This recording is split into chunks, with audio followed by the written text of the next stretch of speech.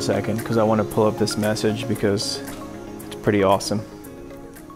Where are you, message? There it is. There's that message. Callie already shipped it. Thanks, Callie. But listen, I'm not the type of person who's usually petty, but I wanted to show this because it's hilarious to me.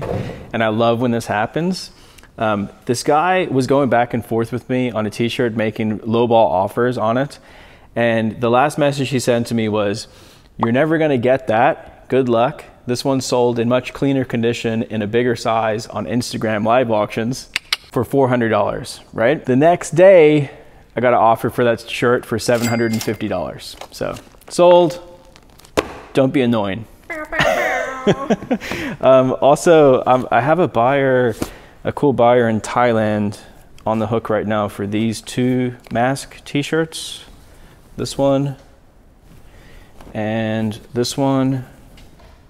We've settled on uh, $3,200 for the two of them shipped to, Thailand uh, priority. Um, and I looked up shipping already. It's going to be around 60 bucks to ship it. He just wants a dry rot test on video. Um, so I figured that I can show you how to dry rot test these t-shirts really quick.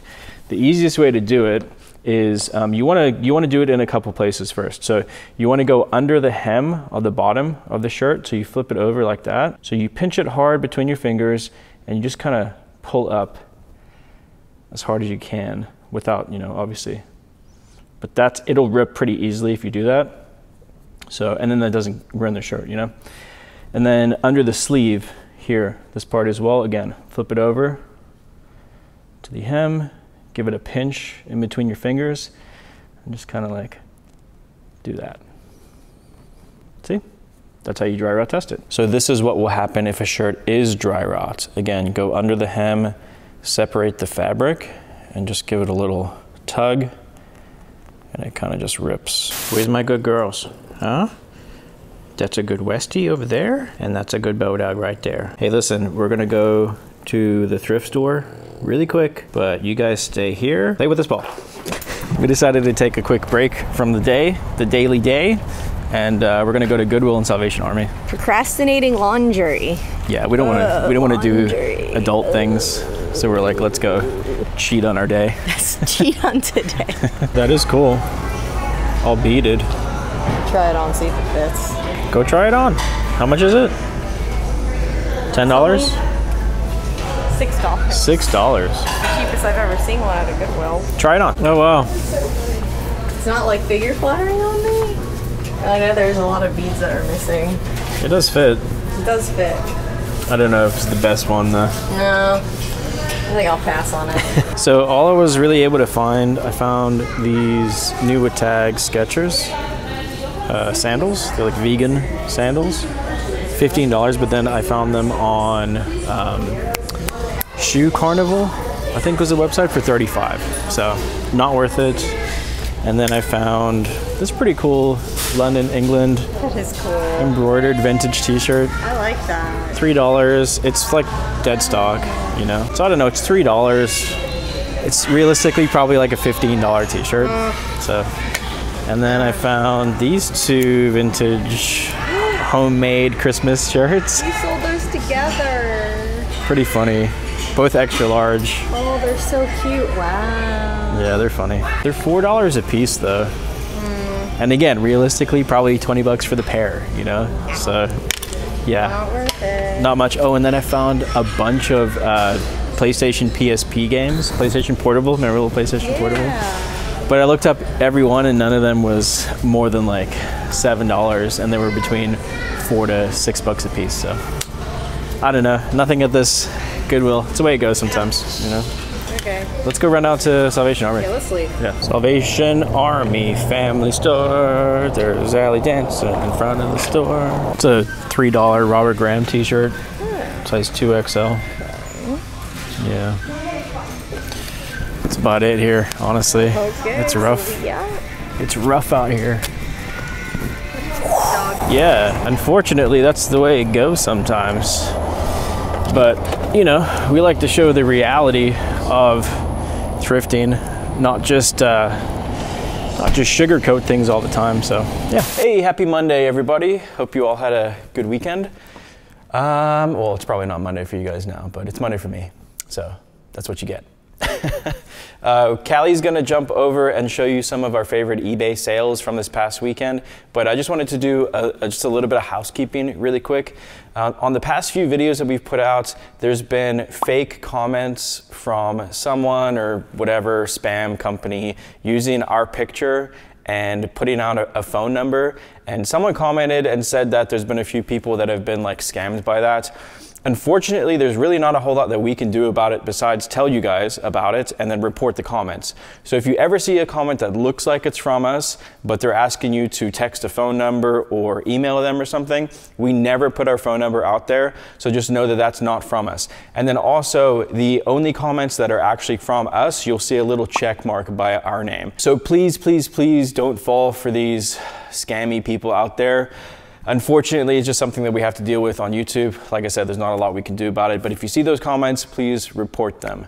Yeah. So um, anyway, some decent sales from over the weekend. Callie's going to show you right now. There's that Callie. Uh, welcome to Ralli Roots What Sold. And today we're going to show you shoes. Shoes. And things. Um, first up are some Cole Haan Zero Grand leather white wingtip shoes. And they sold for 34 doll hairs. And then these are some Sketcher memory foam loafer shoe dealy bobs. Pretty nice. Those sold for 30 doll hairs. These big old Justin boots sold for $40. Ooh, this one's good. Look at this fold Ooh. that I did. But time out. You ready for it? Yeah. Bam. Ooh, fancy. Look at that. I like the long fold. Yeah. She sold for 120 doll hairs. Nice. That's a cool one too because I think it's 2005. It's not even that old. Vibram, Vibram, however you want to say it, those sold for 35.97. Cool. First class, so those will be easy to ship. This thingy Allie found at the flea market. Flea market. A long time ago when we were doing the the challenge. Yeah, we need to go back to that flea market actually. Yeah. This actually sold for $80. Nice. I didn't think it was going to go for that much because it's not that old. Right. Right? But That's pretty cool. Should be fun to ship. yeah, it's a reproduction. Uh, fortunately, it's only going to Tennessee.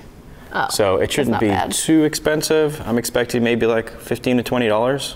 It's not too heavy either, so probably around 15. Yeah, we just have to pack it really well because we don't want the plastic to break. Yeah. And then another pair of Justin boots. These sold for $43. Cool. Good really brand, cool. Justin. Yeah. This is a William Wegman t-shirt. I love that shirt. It's got a doggy. It's a Weimaraner. It's sitting on a box. I like that shirt because Allie's mom uh, always had Weimaraner doggos. Oh, yeah. Yeah. The cool. cute puppers. And then last from eBay, Hanu. Hanu. Hanu boots. These are pretty little ones. They're also Vibram soles. They sold for a whopping $65. Nice. That's pretty crazy for such a small size. Yeah, sweet. Very good.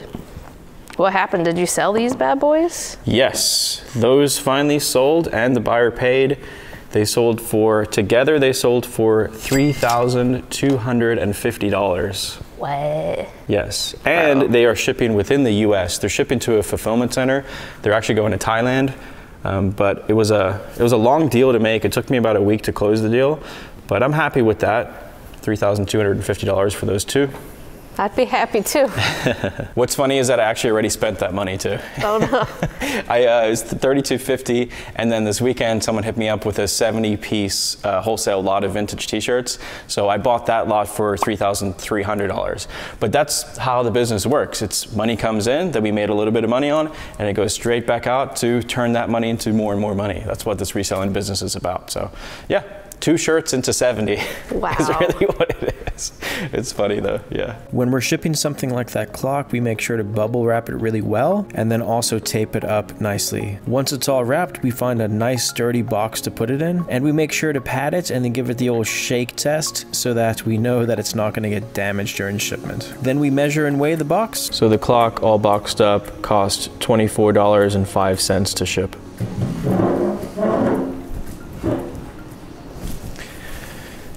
So, speaking about scams in this video, uh, there's a couple other common eBay scams that I wanted to address as well. I know a lot of you guys who watch this channel sell on eBay too, and it, um, it makes me really sad when I hear from our audience that someone's been scammed on eBay or someone's lost money on eBay or someone's just been done wrong from a scam on eBay. So there's really there's really two main ones that I haven't talked about in other videos that I want to address in this video. The first one is be very very careful about doing any transactions outside of eBay. So a lot of times, especially with newer sellers, a lot of times you'll get a message from a, a potential buyer on eBay that says something to the extent of, "Hey, I'm interested in this item, text me at this number or email me at this email address or hit me up on Instagram or something like that and we'll we'll do the transaction outside of eBay to avoid the eBay fees for you. And I know that that can seem kind of enticing to, you know, to avoid that 10% eBay fee or that 13% with the, you know, the payment processing fee.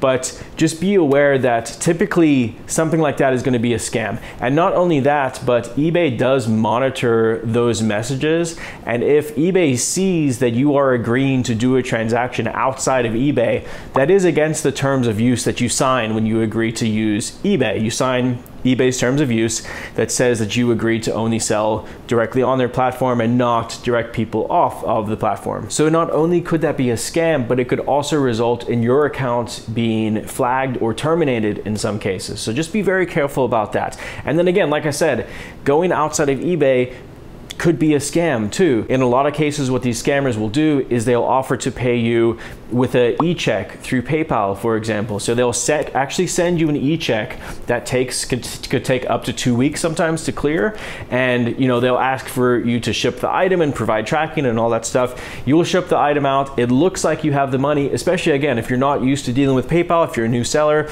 it does look like you have the money in your account, and then a couple weeks or a week to two weeks later, that e-check bounces. You're out your money and you're out the item. The buyer has the item and they didn't have to pay for it. So just be very careful about that. That's the, uh, the off eBay scam is what I'll call it. And then the other big one that a lot of people need to be aware about is it's an email phishing scam. So what happens in that case is uh, a, a scammer will get your email address associated with eBay or just your email address in general and you'll get an email that looks like it came from eBay. So it'll say, you know, from eBay at the top, it looks like it came from eBay, it'll look legit legit, but it's a scam to get your login information. So it'll say something like, you know, your account's been compromised on eBay, or it'll just be a very generic eBay email saying, hey, can you click on this to verify your account details? You click on the link, it pops up on a website that looks like a legit eBay website, but what it is is a, as a capture form. And when you fill out your information to log into eBay, your account information gets captured. That information is sent to the scammer. Now they're able to log into your eBay account, change your details, buy stuff without your permission, in some cases even steal some of the money in managed payments. So the easiest way to avoid that scam, the eBay phishing email scam, is if you look at your email address, if you click on the from email. So if you click on that email, it'll drop down and it'll show you exactly the email address that it's from. If it isn't a legit eBay email address, then it's a scam. So typically a legit eBay email address would be something like ebay at ebay.com. If it's not at ebay.com, if it's not coming from ebay.com, then it's not a legit email. And I know that that is a common scam that a lot of people are falling for right now. Again, usually it's new sellers or just people who are not very experienced with selling stuff online in general. So just be aware of that. We don't want you guys to get scammed with either of those two scams. There are other ones that happen out there. there there's other type of scams as well, but those are the main two that I wanted to address in this video. Hopefully that does help a few of you avoid headaches in the future. I just feel like it's, you know, with with the platform that we have, I feel like sometimes it is our obligation to to make our audience aware of some of these scams that happen out there. And if it helps a few of you out, that's really the goal of you know putting this information out there. So hopefully it does. What up everybody? It's time for some more sales. Here we go. Up first is this pair of Alegria uh, women's nurse shoes clogs whatever they're called. These were in perfect condition almost brand new looking They sold for $50. Then we have these Keen Crush slip-on wool Keen Cush things, shoes that you put your feet in. Some of those, they sold for $36.52. And then, you know, winter is coming, so we got some snow boots. These are Sorel boots with the fur, you know what I'm saying? These are Tivoli 3 boots, whatever that means. Um, bungee cord. 55 doll hairs for this pair of snow boots with the fur. And then last but not least for today is this Pentax K1035 millimeter film camera with 200 millimeter zoom and 50 millimeter SMC Pentax M lens. Whoa, that sold for $166.50. Oh my goodness. Hello. Hello, little one. Hello, little one. You too. Come here. Oh, she won't come to me because when she's licking me. Look at that thing. What is it doing? Our dogs are weird. All right, guys and girls, that's going to be it for today's video. Thank you so much for watching. If you enjoyed today's vid, please show your support by hitting the thumbs up button and subscribe to the channel. We love you lots. We have some really cool videos coming up. Uh, we got a cool uh, flea market video coming up. We have a cool auction finds video coming up. So, like I said, subscribe if you like reselling videos, and we'll see you next time. Later.